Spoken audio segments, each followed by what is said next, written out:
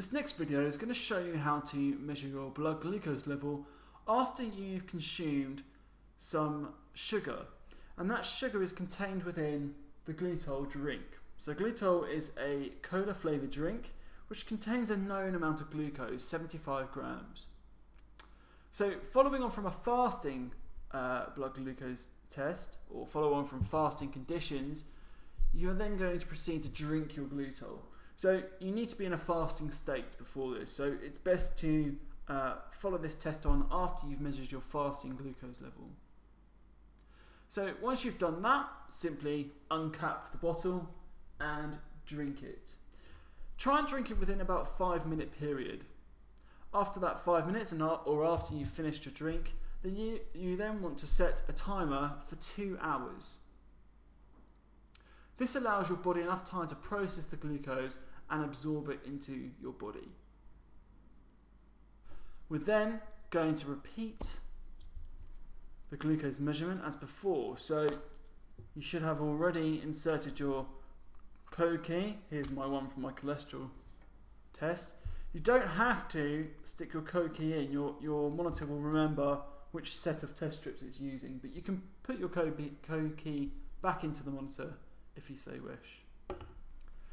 Take a test strip and insert that barcode end into the slot at the top of the monitor. Monitor will come to life and you will see it starts displaying the blood drop icon. Again, you're going to do the same procedure again. So unscrew your lancing device, put your lancet in the lancing pen, twist off the protective cap, put that to one side, and re-screw on the pen lid. Choose a depth setting. I'm going with 4 Engage the pen to pull back at the end, press against the fingertip and press, haven't quite engaged, engage at the back, press against the fingertip, press down and you will get a pinprick. Place that to one side. Again, don't squeeze your finger too much.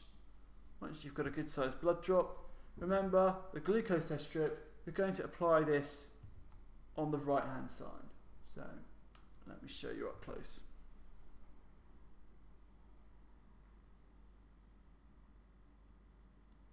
And you'll see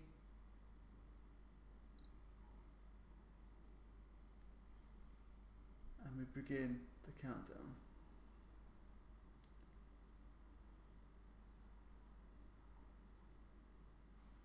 So mine is 6.2. Grab a piece of cotton wool, hold that over your bloody finger. And now, alongside your non-fasting glucose level, you're going to write the value that you've got, 6.2 in my case. Once that's done, discard your test strip and you may want to discard of your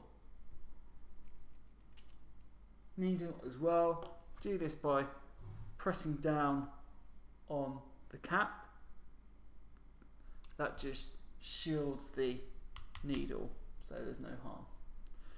Remove this and discard and put your pen back together again. And then you've done your glucose tolerance test.